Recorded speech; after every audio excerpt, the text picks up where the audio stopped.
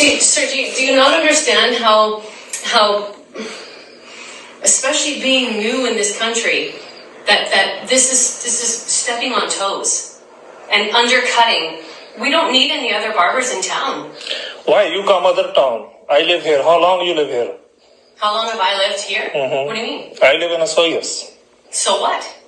Why do not I? You have a open? barber shop in Oliver. Why would you bother coming here? Why would you do that? Especially right next door.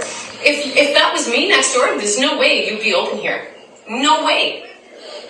It's it's called He gave me city license. See, your license. yeah. I can't I can't believe that. Did they know that you were opening next to a barber shop? Yeah, Wow, that's uh it's business. You know, wrong go. on every level. I know. You know, go for mall. In what? go for anywhere, somewhere next door, every barber shop. Where? Say that again. What? You go for uh, you know big cities. Yeah, but this is not a big city, um, Sir, Sergi.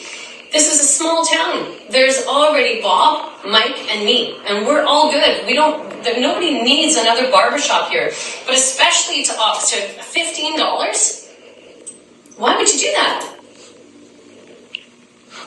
Like, Sergi, okay, let me explain it to you this way. That's like me going to India and, and being a new guest in the country and then totally disrespecting your people and not caring um, about what other people thought.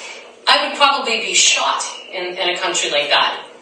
So it's called having respect for people in a small town. It doesn't matter where you live. It does not matter where I know. I respect for people. My prices. Then I respect no, people. that's not having respect for people who are already in business. It's it's one thing to open right next door to a barbershop. That is extremely ballsy and so disrespectful on every level.